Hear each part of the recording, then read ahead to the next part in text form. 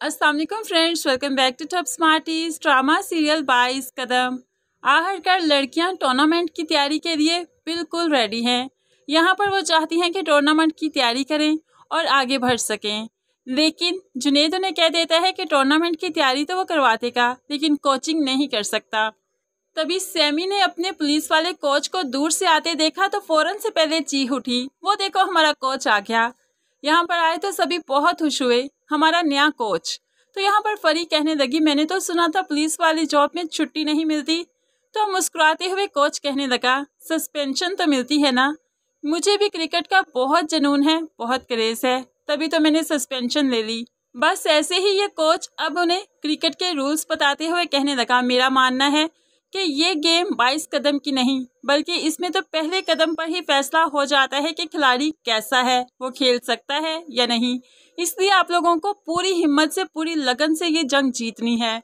करियाना ने इस टीम का नाम तगड़ा लेवल रखा। तो कोच भी ज़ोर से कहने लगा, क्या इस तगड़े लेवल के लिए आप लोग तैयार हैं? तो टीम पूरी ही पुरजोशी से बोली, यस, हम तैयार हैं। दूसरी तरफ़ अब कोच ने नई नई ट्रिक्स उन्हें बताना शुरू कर दी। किस तरह से बॉल को कैच करना है, किस तरह बल्ला चलाना है। गोया कोच ने कुछ कच्चे अंडे दिए जिसकी मदद से वो लोगों का फैसला कर सकता है कि कौन अच्छा खिलाड़ी है और कौन नहीं। सबसे पहले उसने अंडा लीजे की तरफ़ फेंका। लीजे ने जल्दी से उस अंडे को कैच कर लिया।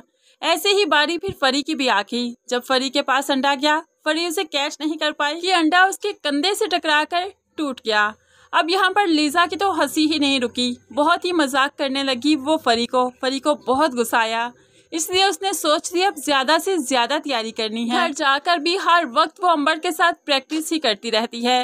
रात का वक्त था कि वो फिर से प्रैक्टिस कर रही थी। माँ ने देखा कि कमरे में दोनों बेटियाँ मौजूद नहीं थी। हड़बड़ाती हुई बाप के पास आई कहने लगी, वो दोनों कमरे में मौजूद नहीं, मुझे लगता है किसी ने उन्हें किडनैप कर लिया।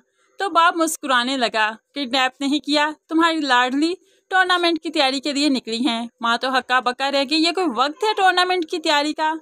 लेकिन अब तो फरी पर भूत सवार है कि जीतना है और जीत कर ही दिखाना है। तभी तो वो दिन रात सुबह शाम सिर्फ़ तैयारी में ही लगी है।